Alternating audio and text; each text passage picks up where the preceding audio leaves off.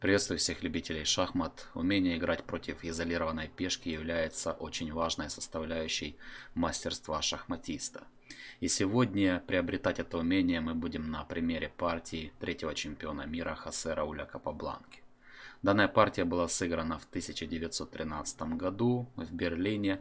Противником Капабланки был Рихард Тейхман. Итак, начинает игру кубинец ходом d4, ход ферзевой пешки, черный отвечает симметрично, белый развивает фигуру в центр, черный также поступает, c4. Это ферзевый гамбит, белый жертвует пешку на поле c4, если черный принимает эту жертву, тогда у белых есть возможность захватить центр пешками, а пехотинцы на c4 отыграть своим слоном, либо ферзем в будущем. Поэтому часто черный играет отказанный ферзевый гамбит, укрепляя пешку на поле d5. Здесь белые выводят слона за пределы пешечной цепи, связывают вражеского коня. Черные защищаются от связки, готовят аркировку в короткую сторону. Конь c3 Капабланка продолжает развитие фигур по направлению в центр, черный поступает аналогичным образом. e3 белые открывают дорогу для развития слона, черные спрятали короля в безопасное место.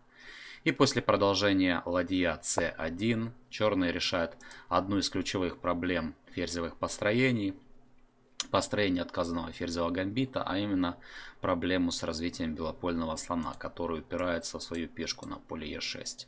Поэтому черный здесь играет b6 для того, чтобы вывести слона на большую диагональ.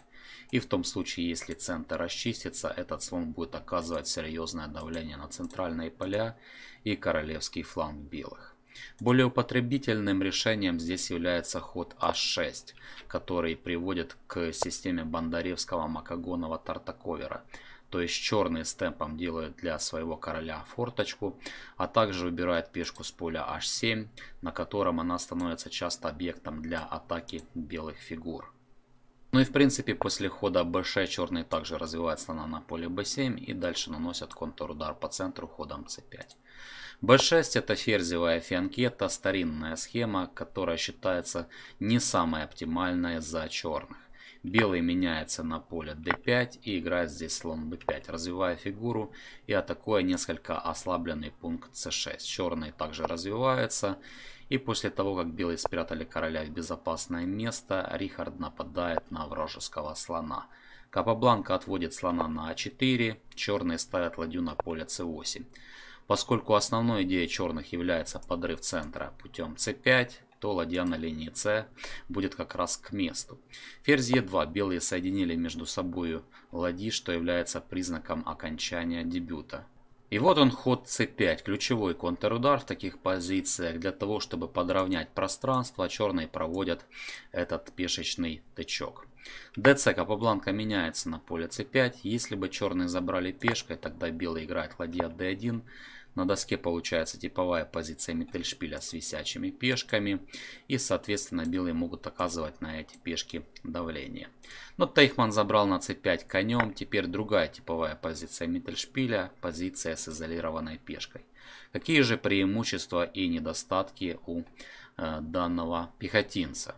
Ну, преимущество это, конечно, пространственные завоевания. У черных небольшой перевес в пространстве, также открытые линии по которым можно, к примеру, наступать на короля. Недостаток заключается в том, что этого пехотинца не защищают сослуживцы. Приходится пешку защищать фигурами, и чем меньше фигур будет на доске, тем эта пешка будет слабее. Отсюда вытекают планы сторон. Белые стремятся в окончание поменять как можно больше легких фигур и, соответственно, в окончании постараться эту пешку выиграть. Черные должны всеми силами избегать разменов и пытаться осложнить борьбу, либо провести прорыв в центре d4 и расчистить для своих фигур линии, либо стремиться к атаке на королевском фланге. Минус позиции черных э, состоит в том, что слон на поле b7 упирается в пешку d5, и если белым удастся эту пешку заблокировать, тогда позиция слона будет очень печальной. Соответственно, здесь у белых преимущество. Кавабланка здесь пошел. Ладья d1 устанавливает ладью на открытую линию и давит на слабую пешку d5.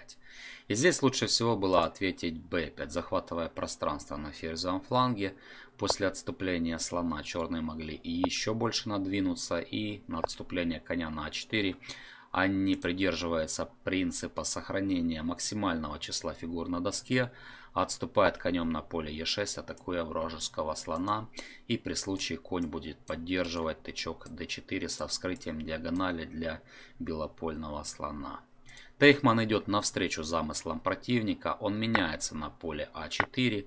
С одной стороны получает преимущество двух слонов, с другой стороны, как мы уже выяснили, белопольный слон занимает пассивную позицию. И белым осталось заблокировать пешку d5 ходом конь d4. И этот слон будет занимать очень плохое положение. b5 здесь сыграли черные. Капабланка предварительно поменялся на поле c8 и отступил конем на поле c3. Опять-таки белые создают два нападения на пешку d5, а также возможность в будущем взять на поле f6 и устранить защитника этой пешки. Поэтому черный отвечает ферзь c4, предлагает размен ферзей и дополнительно защищает пункт d5. Белые блокируют изолированную пешку, черный меняется на поле e2. После взятия конем угрожает захват открытой линии, поэтому Рихарду приходится самому ставить ладью на поле c8, но теперь белый с темпом активизирует своего коня, конь f5, нападает на слона, и если этот слон куда-то отступает, ну скажем на поле f8, тогда белый меняется на поле f6, портят черным пешечную структуру. Теперь в их лагере целая армия инвалидов и, соответственно, у белых здесь большое преимущество. Они дальше пойдут конь d4, возьмут под прицел пункт c2, препятствуя вторжению сюда черной ладьи и, соответственно, у белых здесь явный перевес. На отступление слона на поле d8 белые продолжат конь d6, объявляя вилку. После того, как черный защищает слона, белый меняется на поле b7, затем забирает на f6 и выигрывает пешку на поле d5, пользуясь тем обстоятельством, что взять слоном на b2 нельзя ввиду э, слабости восьмой горизонтали. То есть белые здесь поставят мат. Придется черным сыграть ладья c7, активизируя ладью. Ну, либо если они сделают форточку, то белый успевает защитить пешку, расположенную на поле b2, а конь прикрывает в этот момент поле c1 от вторжения черной ладьи. Здесь у белых лишняя пешка и хорошие шансы на победу. Но ну, а в партии Рихард Тейхман сделал ход король f8, защищая слона. Белые поменялись на поле e7. И теперь образуется смертельная связка по диагонали. Черным очень трудно от нее избавиться. Белый играет конь d4, угрожает ход конь f5. И после того, как король отступит, опять-таки белый забирает на поле f6 и портят черным пешечную структуру. Поэтому здесь черный защищает пункт f5 от вторжения коня. Но теперь Капабланка поднимает очень мощный ход f3. Смысл хода в том, что черный король вынужден сторожить коня на поле f6, на поле e6 стать он не может. Ладья также не может защищать коня с поля c6. Если черный здесь будет пассивно стоять, скажем ладья c7, тогда белый король пройдет до поля e5 и просто белый выигрывает фигуру и партию. Нужно было черным срочно освободиться от связки. Единственный способ это сделать, это пойти h6. Попытка черных перевести ладью на линию d и защитить коня, расположенного на поле f6, натолкнется на ответное ладья c1. Белый вторгается в дальнейшем в обжорный ряд, захватывает открытую линию и также побеждает. Поэтому ходом h6 черный жертвует пешку, но зато избавляется от связки. Белые взяли на h6. Конечно, нужно убрать коня со злополучного поля f6, но теперь белый получает отдаленную проходную на королевском фланге и, конечно, выигранную позицию. Капабланка сразу начинает движение проходной вперед, черные сыграли конь c5, белые уводят слона с линии h, черные продолжают конь e6. Их идея поменять коней и перейти в окончание с разноцветными слонами. Белые идут навстречу замыслам противника. И если здесь забрать на поле e6 пешкой, тогда после хода слон e5, черный слон отлично отрезает по черным полям, во-первых, короля, во-вторых, не позволяет ладье встать на линию h. Ну и белый просто играет g4, h5 и продвигает свою пешку ферзи. Так что на поле Е6 Тейхман забрал королем. Теперь белый защищает обжорный ряд, защищается от вторжения черной ладьи. Следует ладья h8, нападение на пешку. Можно было эту пешку защитить ходом g3, но Капабланка посчитал, что в принципе активизируя ладью через линию c, он добьется еще одной цели, заберет пешку на поле а6, отыграет пешку и при этом получит активную ладью. Так что он здесь ответил ладья c2. И действительно на ладья а4 белый с темпом нападает на слона. Единственное поле это поле а8. Теперь ладья c8. Белый форсированно подбирается к пешке а6 выигрывает эту пешку, при этом получая активную ладью и также отдаленную проходную на ферзевом фланге. Так что Тейхман сыграл ладья c8, переходя в разноцветное слоновое окончание.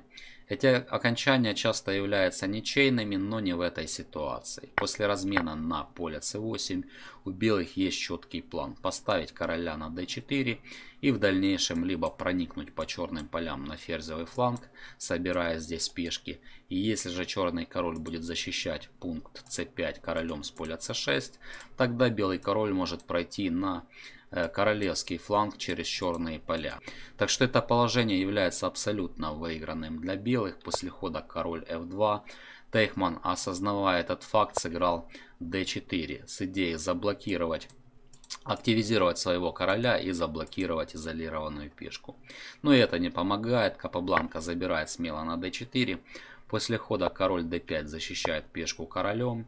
На ход слон e6 убирает короля на поле d3 и на король c6 также убирает свою пешку из подбоя. После хода слон c4 король уходит из-под шаха.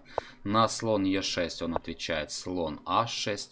Его идея защищать пешку на d4 слоном с поля g7, а также слон с поля g7 будет рентгеном защищать несколько ослабленную пешку на поле b2 на случай продвижения короля до поля b3. У белых на этот случай будет в резерве продолжение d5 с защитой пешки расположенной на поле b2. Так что после хода король d5 и слон g7 Рихард Тейхман признал себя побежденным. И Хосе Рауль Капабланка провел учебно-показательную партию на тему изолятора. Что ж, если вам данная партия понравилась, ставьте лайки, подписывайтесь на обновление канала, кликнув по изображению коня. Нажимайте на колокольчик, чтобы не пропускать следующие видео и до скорых встреч.